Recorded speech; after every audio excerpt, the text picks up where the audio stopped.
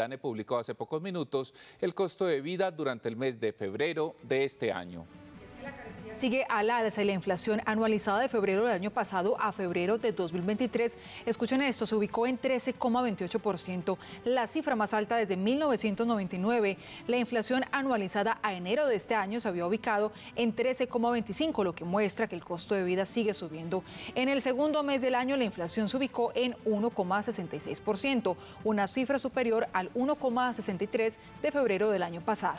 En el costo de vida de febrero incidieron, según el DANE, la educación, los artículos para el hogar y servicio doméstico, el transporte, los bienes y servicios diversos, los alimentos y bebidas no alcohólicas, entre otros. El DANE puntualizó que los alimentos continúan jalonando la carestía de los hogares.